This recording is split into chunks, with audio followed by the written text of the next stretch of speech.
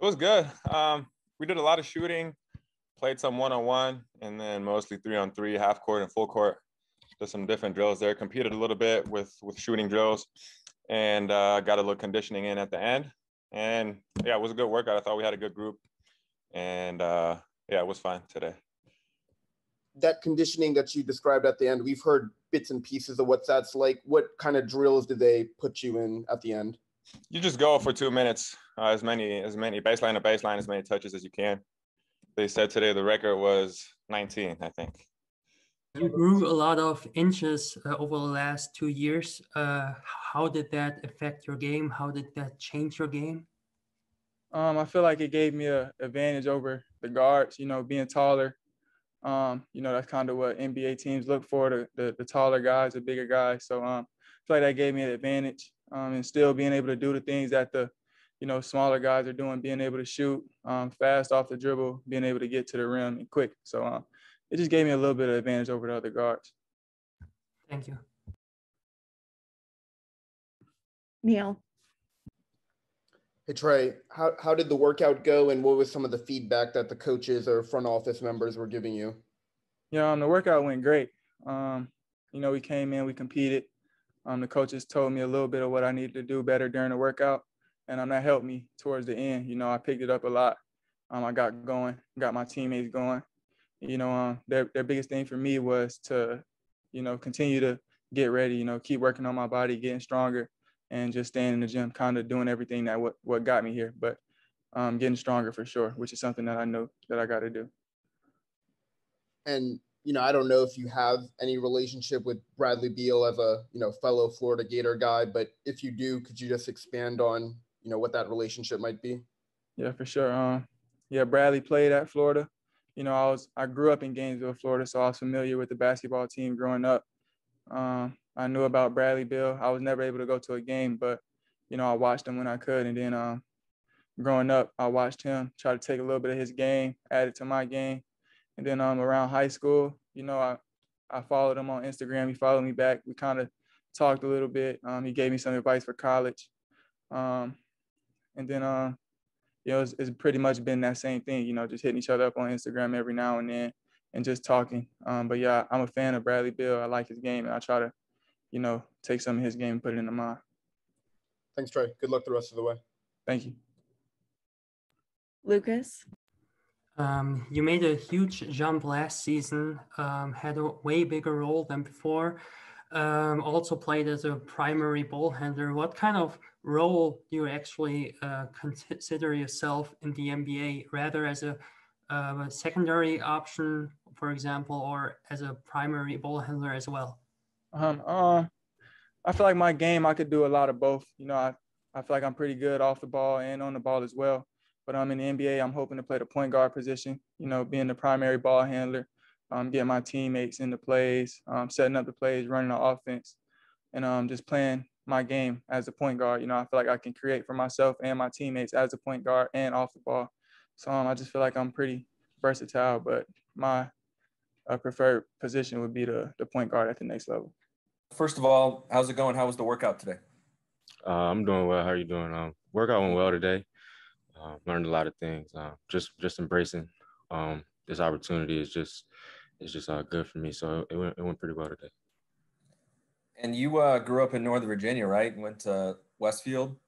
Yes, yes, I grew up in Northern Virginia, not too far. Um, what's it uh, What's it like working out for the Wizards? Um, was it a?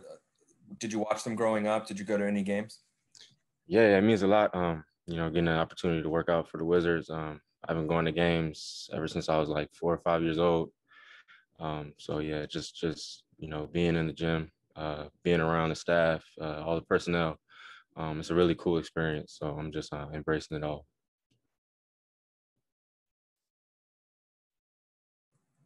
And, and what are you trying to show teams uh, throughout this process, the pre-draft workouts? Um, just trying to show teams that um, I'm a, I'm a two-way player. I can uh, play uh, offense and defense. Show coaches that um, I can play in a specific role that they need me in. You know, whether it's um, getting guys involved, getting guys shots, getting uh, getting shots for myself, and um, just playing uh, aggressively and playing with a lot of confidence, you know, just giving effort and competing at a high level. Um, at, at in whatever workout um, I'm at. So just showing coaches that uh, the ability to do all those things. You've always been a great shot blocker over your whole college career. Um, where does this mentality actually come from? Um, I think uh, I always have it. Uh, you know, I'm a, already a defensive minded guy. Uh, that's what I bring on the court. Uh, play defense, uh, protect the rim. Uh, you know, but um, I bring much more than just blocking the, the basketball. Um, my roles on the team will be to, to to guard one through five position on basketball court.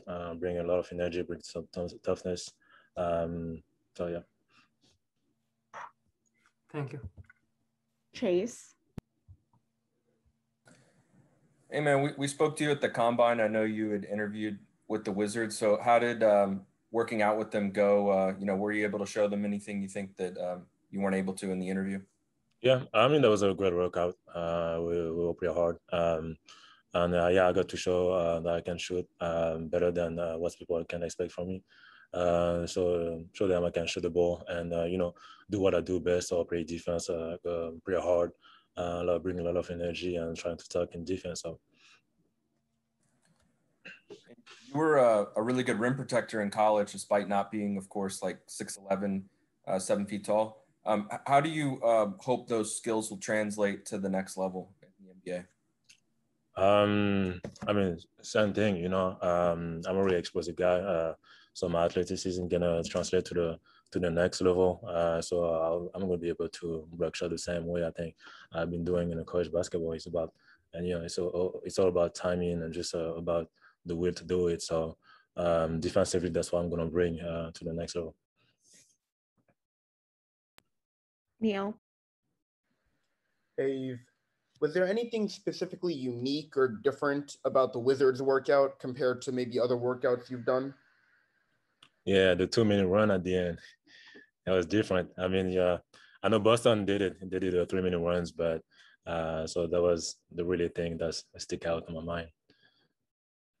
Thanks. Good luck the rest of the way. Thank you. Brianna. Hey, um, we had a previous French player, Ian Mahinmi, with the Wizards. I'm just wondering if you were able to speak to him about DC or about the Wizards organization or anything like that before your workout. Did you say did I talk got to talk to Jan, him? Yeah, Ian Mahinmi. No, I never I never seen uh Jan. I never talked to him before, so so yeah, it's too bad I missed him. Okay. Lucas? Uh, you get a lot of praise for your defense, your defense versatility. Uh, what do you think you can bring on the table on the offensive end in the NBA? What's what's maybe the main play type uh, you got to bring in in the NBA?